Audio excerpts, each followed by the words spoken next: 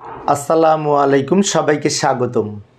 আজকে আমি HSC, ICT তৃতীয় অধ্যায় সংখ্যা পদ্ধতির বিশেষ করে হেক্সাডেসিমেল সংখ্যা হতে দশমিক সংখ্যা কীভাবে রূপান্তর করা যায় তা আলোচনা করব।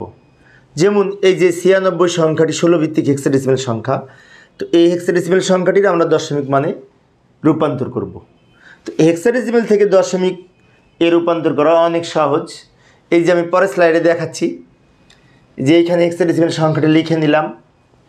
তো হেক্সাডেসিমেল হতে দশমিকের রূপান্তরের ক্ষেত্রে হেক্সাডেসিমেলের প্রত্যেকটা প্রতীককে বেজ ষোলো দ্বারা প্রথমে গুণ করব। অর্থাৎ নয়কে ষোলো দ্বারা গুণ করব এবং ছয়কেও ষোলো দ্বারা গুণ করব। কীভাবে? এখানে সমান দিব। দেওয়ার পরে নয় লিখে নিব। একে ষোলো দ্বারা গুণ করব। তারপর যোগ চিহ্ন দিব। ছয় লিখে নিব। এটাকেও ষোলো দ্বারা গুণ করব। অর্থাৎ নয়কে ষোলো দ্বারা গুণ করেছি এবং ছয়কেও ষোলো দ্বারা গুণ করেছি। এবার প্রত্যেকটা ষোলোর উপরে পাওয়ার লিখব। এদিক থেকে এদিকে। পাওয়ার হিসাবে শূন্য থেকে শুরু হবে। এটির উপরে পাওয়ার হিসেবে লিখব শূন্য। এইটির উপরে পাওয়ার হিসেবে লিখব এক। এইবার আমরা সমাধান করব, সরল করব কীভাবে? ষোলোকে পাওয়ার ওয়ান করলে আমরা যদি ক্যালকুলেটর ব্যবহার করে করি, ষোলোকে পাওয়ার ওয়ান করে আমরা পাবো সম্ভবত ষোলো। সেই ষোলোকে যদি নয় দিয়ে গুণ করি তাহলে ষোলো ইন্টু নয় একশো চুয়াল্লিশ হবে। একশো চুয়াল্লিশ লিখব। তারপর যোগ চিহ্ন দিব।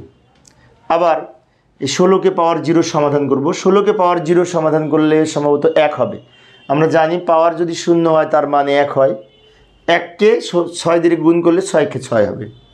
এখানে ছয় লিখব। এইটুকু সমাধান করে আমরা ছয় পাবো। সবার শেষে এই দুটো আমরা যোগ করব। একশো চুয়াল্লিশ আর ছয় যোগ করে কত হবে? একশো পঞ্চাশ হবে মনে হয় ওয়ান ফিফটি তো যোগ করে যেটি পাবো ওয়ান ফিফটি এইখানে লিখব। এটি যেহেতু দশমিক সংখ্যায় রূপান্তরে হয়েছে, তাই উভয় দিকে ব্র্যাকেট দিয়ে ভিত্তি হিসেবে দশ লিখব। কারণ দশমিক সংখ্যার ভিত্তি হচ্ছে দশ। অর্থাৎ এই হেক্সাডেস হেক্সাডেসিমেল ছিয়ানব্বই ছিল, এটার সমতুল্য দশমিক মান হচ্ছে ওয়ান ফিফটি একশো পঞ্চাশ বেস দশ। তো প্রিয় শিক্ষার্থী বন্ধুরা, এই ছিল আমার আজকের আলোচনার বিষয়। আমি অল্প অল্প করে আলোচনা করি যাতে তোমরা ভালো মতো বুঝতে পারো। তো পরিশেষে সবাই ভালো থাকবে এবং সুস্থ থাকবে। এই কামনায় খোদা হাফেজ।